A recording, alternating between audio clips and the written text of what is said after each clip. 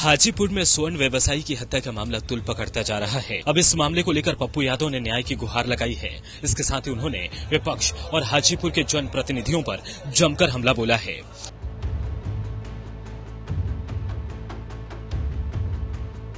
हाजीपुर पहुँचे पप्पू यादव ने कहा कि विपक्ष के संरक्षण में हत्या के खेल बिहार में आम बात हो गई है। व्यवसायियों पर अपराधियों की गिद्ध की तरह नज़र है।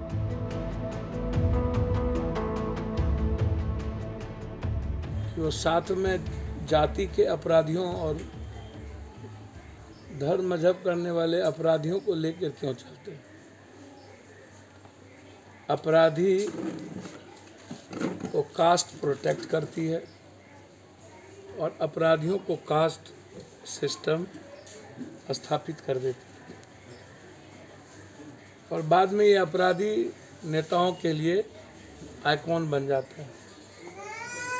कौन ऐसा नेता है जो बगैर अपराधियों के चुनाव लड़वाता है, लड़ता है?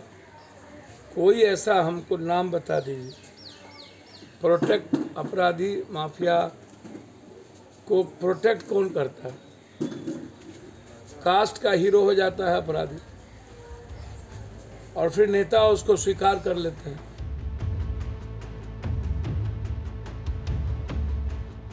इसके साथ ही पप्पू यादव ने मुजफ्फरपुर आईजी और मुख्यमंत्री के सचिव से बात कर मामले में तुरंत कार्रवाई का आग्रह किया और केंद्रीय मंत्री पशुपति पारस और नित्यानंद राय पर जमकर हमला बोला और कहा कि ऐसे नेताओं को हाजीपुर में घुसने नहीं देना चाहिए।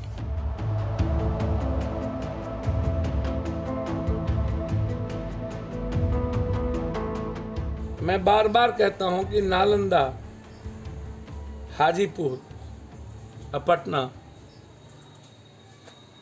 ज़मीन, बालू, शराब,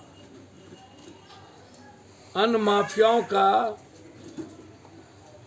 शेल्टर हाउस बन गया। पूरी पुलिस महकमा ऊपर से नीचे तक, आगे में ज़मीन माफिया से पैसे वसूलेंगे, थाना के पीछे शराब माफिया से पैसे वसूलेंगे।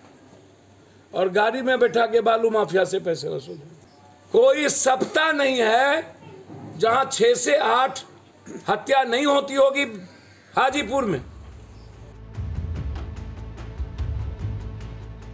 पप्पू यादव ने साफ़ कहा कि व्यवसायी ही, अर्थव्यवस्था की रीढ़ हैं। जब व्यवसायी ही नहीं बचेंगे तो कैसे होगा? उधर पप्पू यादव के मौके पर पहुँचने और शोकाकुल परिवार से मिलने के बाद पुलिस प्रशासन पर भी दबाव बढ़ा है और पीड़ित परिवार की न्याय के लिए उम्मीद जगी है।